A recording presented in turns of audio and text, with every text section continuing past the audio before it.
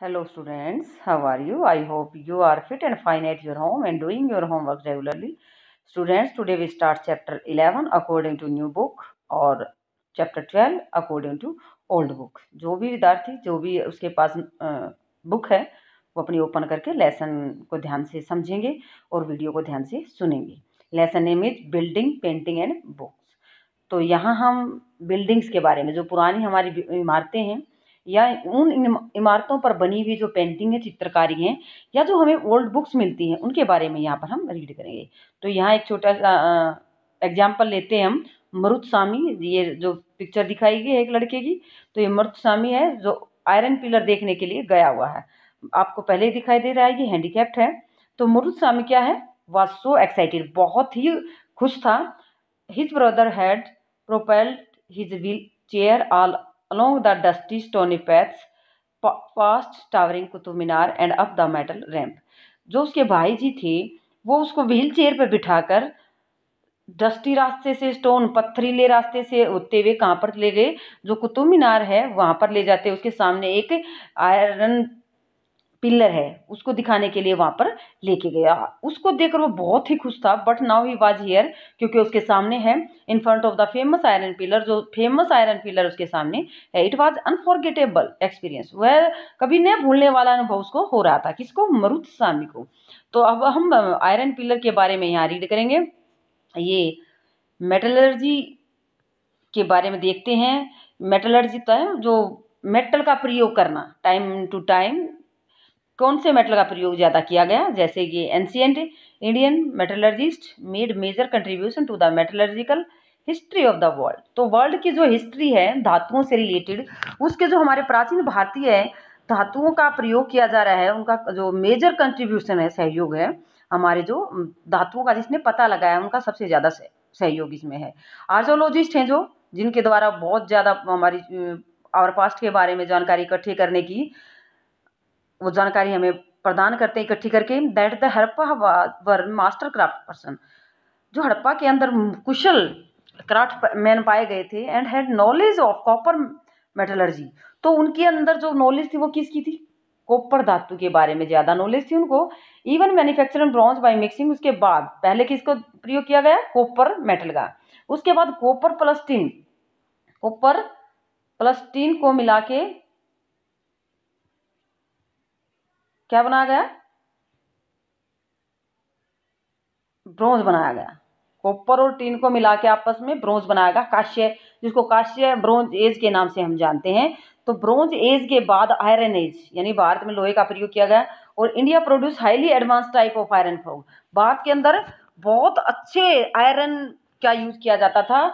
Iron की वस्तुएँ बनाने के लिए, उत्पादन करने के लिए। तो आज हम उसी का एग्ज़ाम्पल यहाँ देखते हैं कि इंडिया के अंदर जो आयरन पिलर है, वो कितना अच्छा है, कितने टाइम पहले से लगाया गया है और उसके अंदर क्या क्वालिटीज हैं। तो आयरन पिलर के बारे में हम यहाँ बात करते हैं। Iron pillar at Mehrauli Delhi के अंदर एक स्थान है मेहरोली वहाँ पर स्थित है। Is a remarkable example of the skill of Indian craft person ये एक सबसे अच्छा जो हमारे कुशल शिल्पकार थे उनकी कुशलता का एक सबसे अच्छा एग्ज़ाम्पल है। It is made of iron 7.2 metre high ये आयरन से बनाया गया है। इसकी हाइट 7.2 है। इसका वेट थ्री टन लगभग है। It was made about fifteen hundred year ago ये पंद्रह सौ साल पहले बनाया गया था। यह हमें कैसे पता चला? क्योंकि we know the date because हम इसकी टाइम को कैसे जानते हैं? देयर इज़ एन इंस्क्रिप्शन क्योंकि उसमें एक अभिलेख मिला है।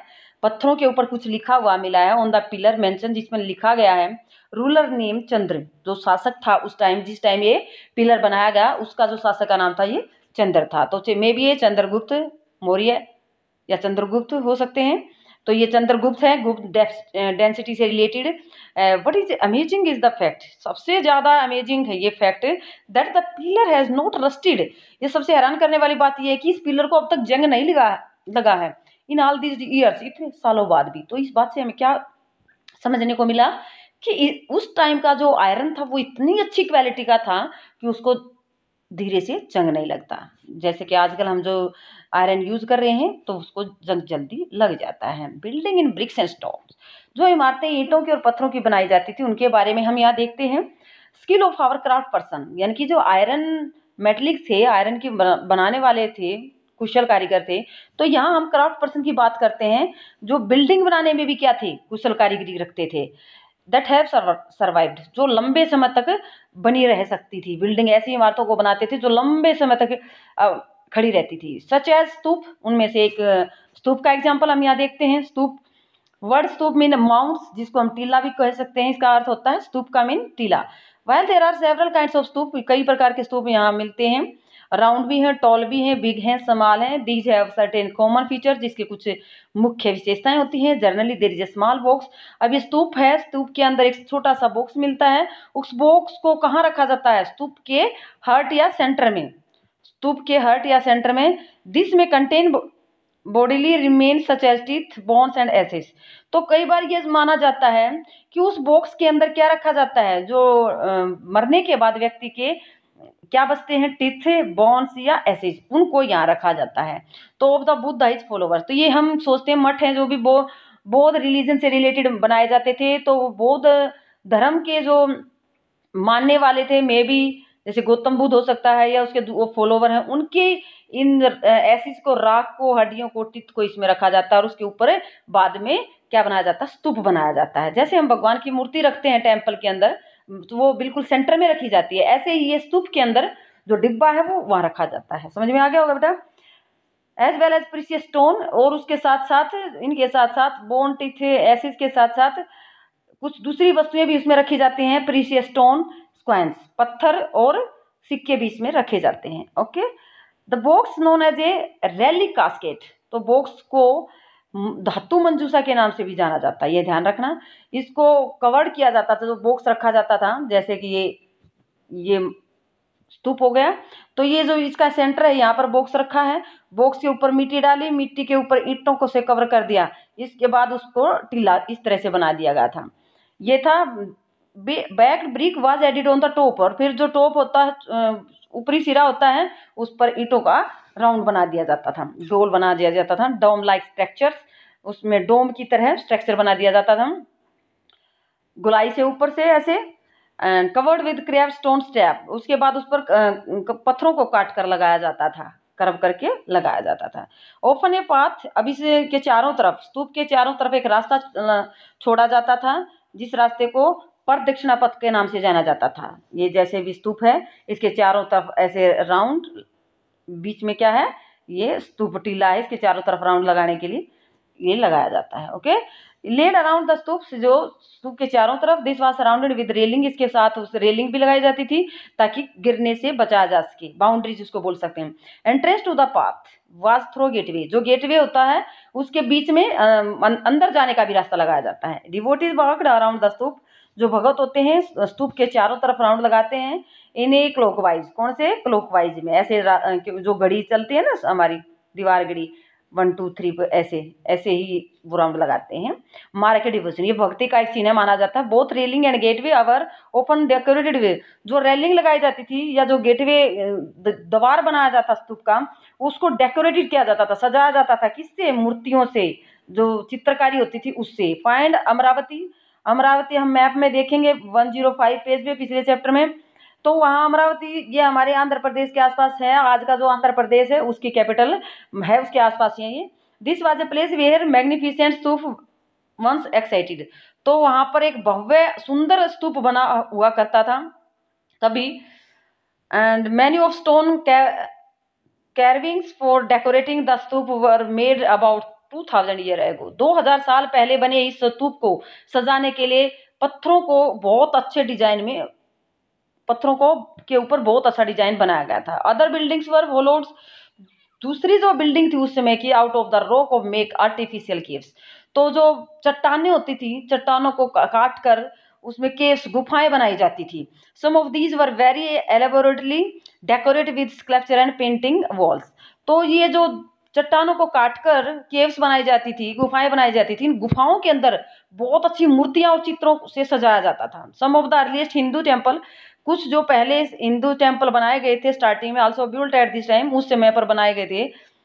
That is such as Vishnu तो उस समय जो भगवान की पूजा की जाती थी, वो विष्णु थे, शिव भगवान थे, दुर्गा माता थी। वर वर्शिप इन दिस रेंगिस तो इन सबको पूजा जाता था, इन देवी देवताओं की पूजा की जाती थी।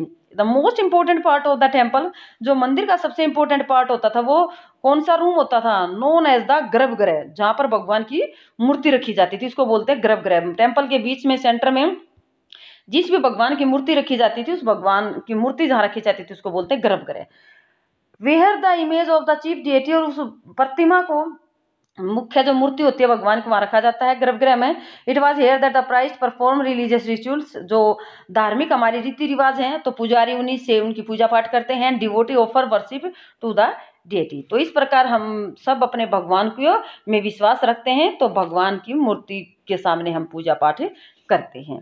तो ये सब बातें हम हिंदू टेंपल और जो बौद्ध धर्म से रिलेटेड स्तूप थे, उनके बारे में। ये जो स्तूप यहाँ दिखाई दे रहा है, ये स्तूप है हमारा सांची के स्तूप जिसको बोलते हैं। सांची के स्तूप, सांची का स्तूप कहाँ पर है? मध्य प्रदेश के अंदर। मध्य प्रदेश के सांची का स्तूप है। तो इसमें दिया गया है stupa like that one were build over several century बहुत कई सालों तक इसका बनाने का काम चलता रहा। कई शताब्दियों तक। While the brick mound probably dates of time of the Ashoka तो इस स्तूप की ईटों का जो प्रयोग है, वो शायद अशोक, जो मान एम्पर थे, उसके ज़माने के टाइम का जो डिज़ाइन है, वो पता लगाया गया है। इसकी जो रेलिंग है या जो एंट्री गेट है, गेटवे है, रेलिंग्स हैं, ये added during the time of later ruler और उसके बाद का जो शासक था, उसके टाइम के डिज़ाइन की बनी हुई। यानी कि एक शासक के बाद दूसरे शासक के जो डिज़ाइन बदलते रहते थे, उनका प्रयोग यहाँ पर किया गया है। ओके? अब ये भी डिज़ाइन है, हाथियों वगैरह का या जो सैनिक होते थे, उनका यहाँ पर दिखाया गया है। नेक्स्ट पेज पे ये भी जो है, ये टेंपल दिखाया गया है उस समय का, ये है अर्ली टेंपल है ये, भीतर गाँव है उत्तर प्रदेश के अंदर। पिछला हमने सांची का स्तूप कहाँ के बड़े थे? मध्य प्रदेश की। ये है उत्तर प्रदेश का भीतर गाँव मंदिर। इसका नाम है भीतर गाँव। गाँव के अंदर build about fifteen hundred year ago जिस टाइम का वो हमने स्तूप के बारे में रीड किया था तो उसी टाइम ये मंदिर का बनाया गया था। तो इस मंदिर के and was made of baked bricks and stone तो ये ईटों से और पत्थरों से बनाया गया है और जो टॉप में ये वाला इसकी बात कर रहे हैं, ये मोनोलिथिक टेंपल के बारे में महाबलीपुरम। महाबली टेम्प महाबलीपुरम टेंपल है ये और इसके बारे में है each of this was carve out of huge single piece of stone यानी कि इस मंदिर को, एक बड़ी चट्टान को, एक बड़े पहाड़ को काट कर बनाया गया था, एक ही पत्थर में नोन एज द मोनोलिथीज जिसको हम एक कासम बोल सकते हैं मोनोलिथ बोल सकते हैं, एक ही पत्थर से बना हुआ पूरा मंदिर। While bricks structure are built of the adding layer of the bricks और बाद में ईटों का प्रयोग किया गया है, इसके ऊपर and bricks from the bottom toward, upwards. In this case, the stone cutter had to work from top downward. तो इसमें क्या बताया गया है?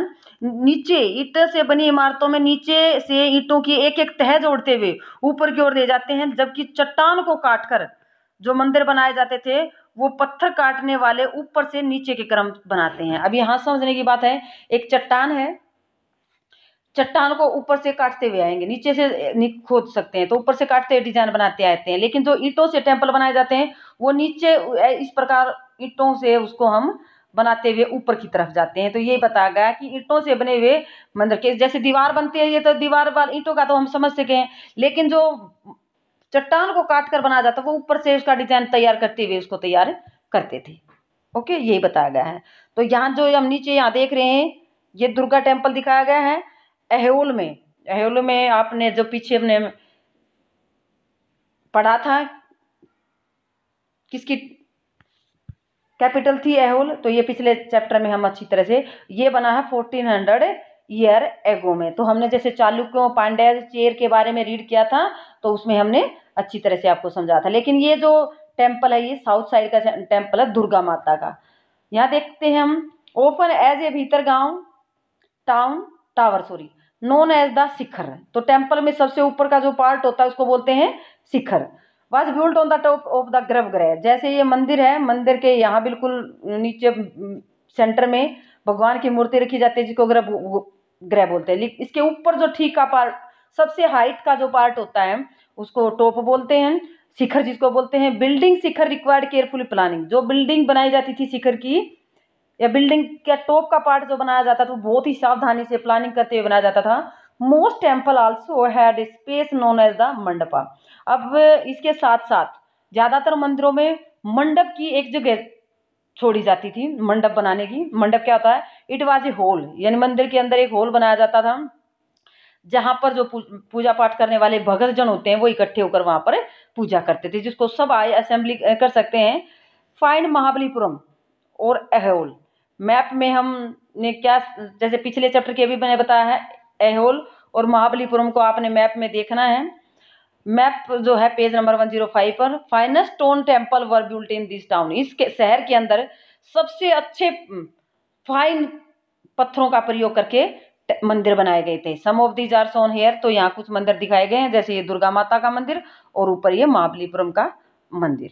ओके अब हम देखते हैं how were stupas and temple built कैसे स्तूप और टेंपल को बनाया जाता था? There were several stage in building stupas ये कई स्टेप से से बिल्डिंग या स्तूप को बनाया जाता था।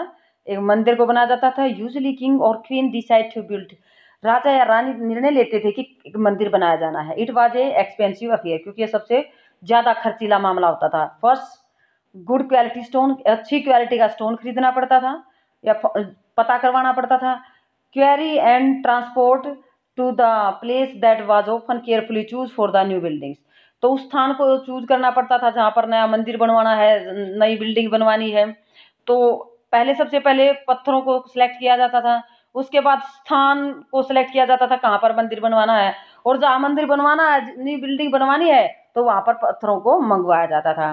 These rough blocks of stone had to be shaped and carved into pillar जो रफ पत्थर होते थे, उनको काट छाट करके तराश करके, अच्छी तरह से उनको दीवारों की चौखट बनाई जाती थी, खंभे तैयार किए जाते थे, फर्श या छत के लिए उनका आकार बनाया जाता था। वो एज इट इज़ यूज़ नहीं करते थे, उनको डिज़ाइन में तैयार किया जाता था।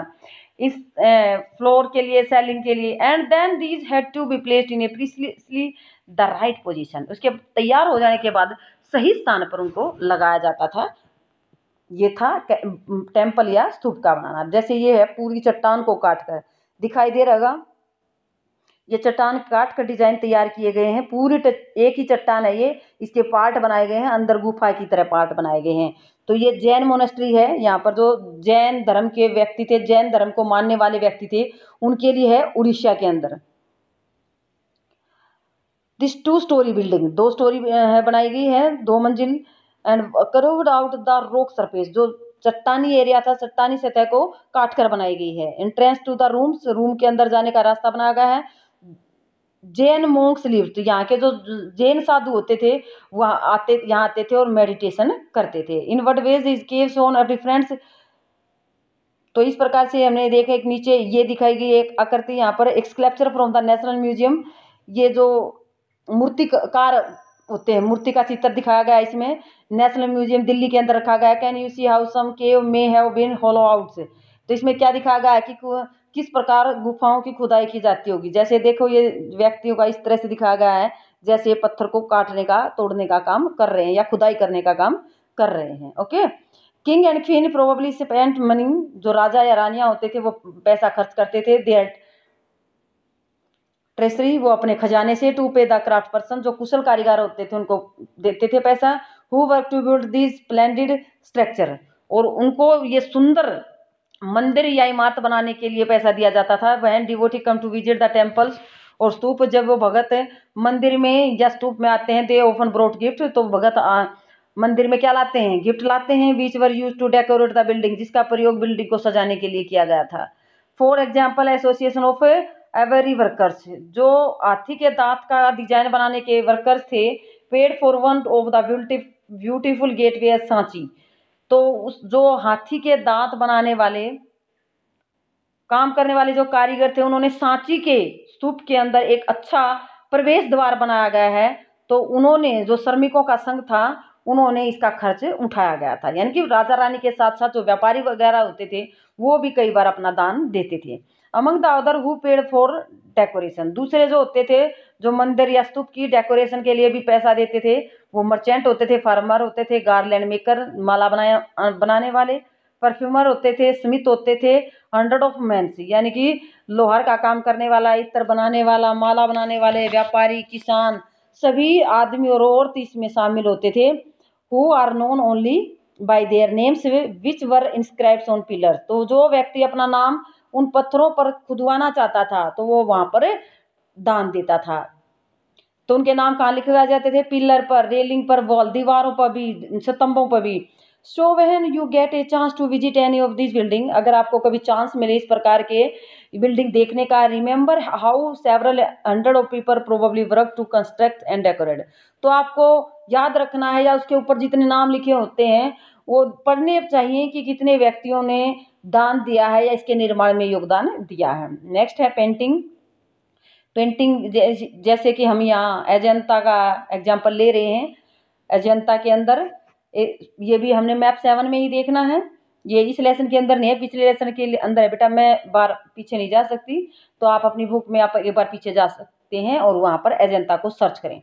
This is a place where several caves were hollow out of the hills over centuries तो यहाँ पर हम एजेंटा की जो गुफाएँ हैं महाराष्ट्र के अंदर आप एजेंटा को सर्च करेंगे। इसमें आप देखेंगे कि पहाड़ों में सैकड़ों सालों के दौरान कई गुफाएँ खोदी गई थी, जो अभी मैंने बताया कि पहाड़ों को काट कर जो गुफाएँ बनाई जाती थी। कई सेंचुरी लगती थी, सदियाँ लगती थी most of these were monasteries for Buddhist monks जो बुद्ध रिलीजन से रिलेटेड भिक्षु हैं। उनके लिए ये मोनेस्ट्रीज बनाई गई थी, बिहार जिसको बोल सकते हैं विहार। मोनेस्ट्री विहार, मठ जिसको हम बोल सकते हैं, बौद्ध मठ। तो ये मोनेस्ट्री बनाई गई थी। Them were decorated with the painting तो वहाँ सजाया गया उसको पेंटिंग के द्वारा। हेयर आर सम एग्ज़ाम्पल तो यहाँ हम कुछ एग्ज़ाम्पल देखते हैं कि कैसे उसको सजाया गया है। As the cave of the dark inside क्योंकि हमें पता है कि केव के अंदर क्या होता है, अंधेरा होता है। Most of this painting were done in the light of the torch तो उस समय जो टोर्च वगैरह होती थी, उसकी रोशनी में ही उन्होंने वो चित्रकारी कर रखी है। जो कारीगर होते थे, कारीगरों के द्वारा टोर्च की रोशनी में ही कारीगरी की गई है। Colours which are vivid even after fifteen hundred years पंद्रह सौ साल पहले जो कलर उन चित्रों में भरने के लिए यूज़ किए गए हैं वर मीड प्लांट और मिनरल्स तो जो पौधों से और मिनरल से जो मिक्स करके जो कलर बनाया जाता था, उसका प्रयोग किया गया है। तो ये ध्यान रखना है कि जो मोनेस्ट्रीज हैं, उनमें जो कलर यूज़ किया गया है, वो किससे बनता है? प्लांट और मिनरल से। Artist who create these splendid work of art remain unknown तो इस प्रकार के जो कारीगर होते थे, इस प्रकार की जो मूर्तियाँ बनाते थे, चित्रकारी बनाते थे, वो कलाकार आज भी अज्ञात हैं, उनके बारे में हमें पता नहीं है, क्योंकि उन, उसके ऊपर इसका कोई नाम नहीं लिखा गया था। जो पेंटिंग की जाती थी पेंटिंग का कोई नाम नहीं होता था, बल्कि जो बनाने वाले होते, कारीगर होते थे, उनका नाम। ये पेंटिंग की गई है गुफाओं के अंदर, ये भी पेंटिंग की गई है गुफाओं के अंदर तो ये ध्यान देना है। ओके बेटा, आज हम इतना ही करते हैं। वीडियो को ध्यान से सुनना है समझना है। Okay thank you.